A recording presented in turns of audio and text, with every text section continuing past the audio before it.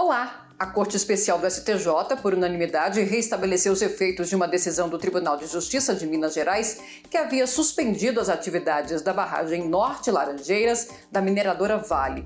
Esta decisão havia sido sustada em 2019 pelo então presidente da Corte, ministro João Otávio de Noronha, a pedido do município mineiro de São Gonçalo do Rio Abaixo. Agora, a Corte levou em consideração novas informações trazidas pelo Ministério Público Federal sobre os riscos relacionados ao funcionamento da barragem, especialmente em relação à estabilidade da estrutura e ao perigo de rompimento. Devido a essa insegurança, as atividades na barragem foram suspensas. E em outro julgamento, a terceira sessão definiu ser possível o benefício da detração em casos de medida cautelar de recolhimento domiciliar com o uso de tornozeleira eletrônica.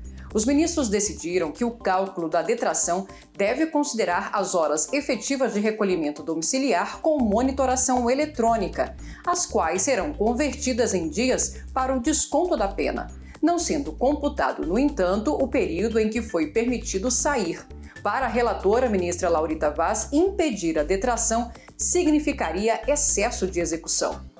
Já a quarta turma decidiu que condomínios residenciais podem impedir o uso de imóveis para locação pelo Airbnb. Por maioria de votos, os ministros definiram que, caso a convenção do condomínio preveja a destinação residencial das unidades, os proprietários não poderão alugar seus imóveis por meio de plataformas digitais. Mas a convenção do condomínio pode autorizar a utilização das unidades nessa modalidade de aluguel. Você confere outras notícias no site do STJ e nas nossas redes sociais. Até a próxima!